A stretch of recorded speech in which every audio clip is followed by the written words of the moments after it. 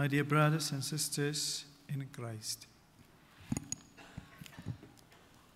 we gather today on this Palm Sunday, a day where celebration intertwines with sober foreshadowing of suffering.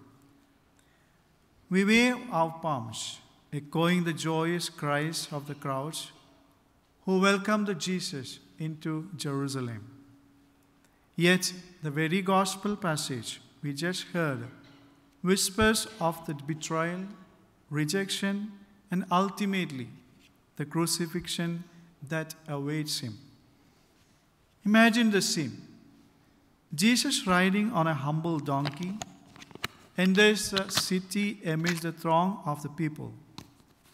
They spread their cloaks on the road, on the ground, a symbol of royalty, and wave palm branches, a traditional sign of victory.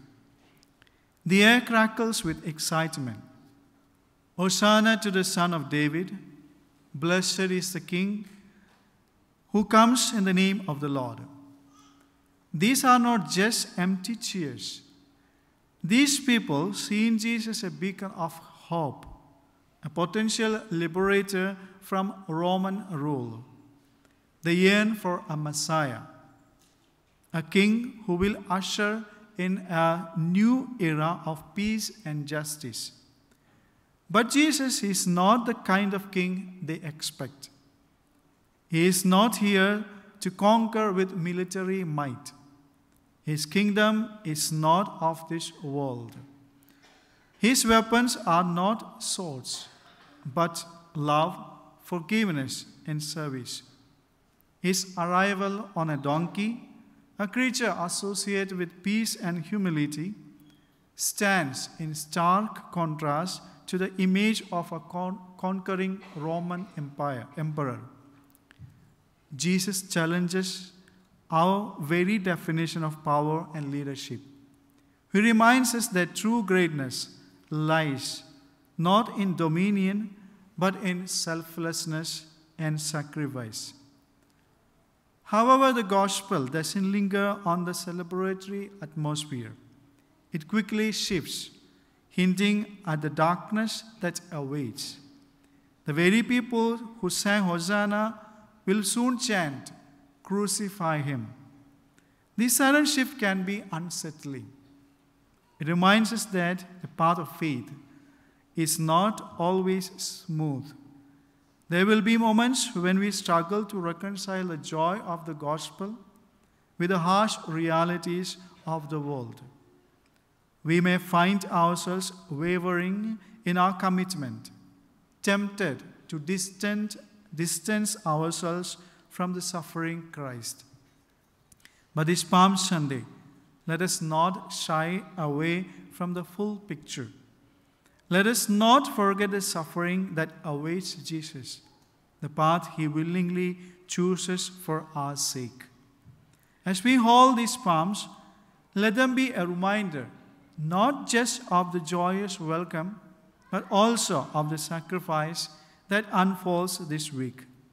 Let them be a call to witness the entire story of Christ, from the triumphal entry to the agonizing crucifixion and the glorious resurrection.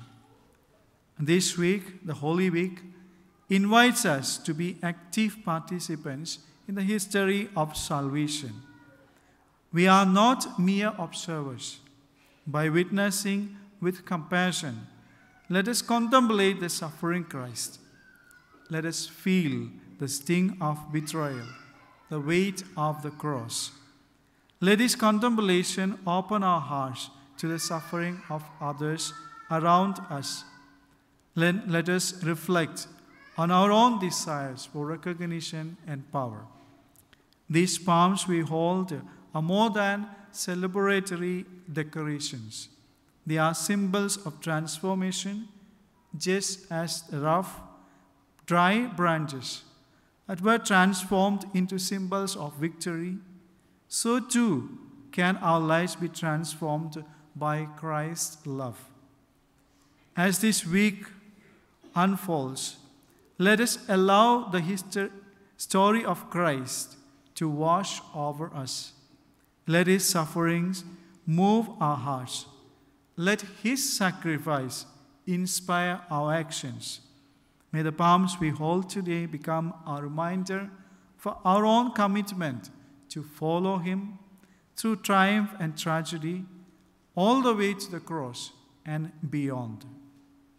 The name of the Father, and of the Son, and of the Holy Spirit. Amen.